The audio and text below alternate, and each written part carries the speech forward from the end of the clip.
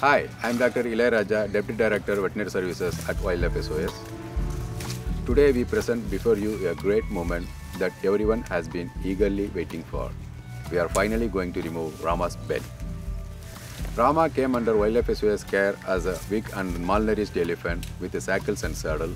Owing to his severe jaw injuries and immediate medical assistance, we wanted to get comfort and feel safe in his new surroundings.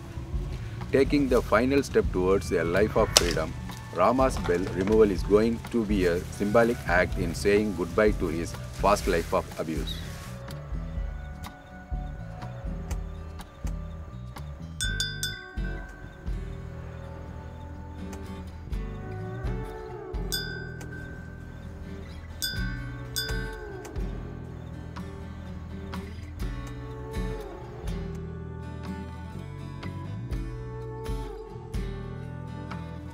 The bell removing ceremony is a long-standing practice carried out for a rescued elephant at Wildlife SOS. It denotes the freedom of an elephant from its harrowing past.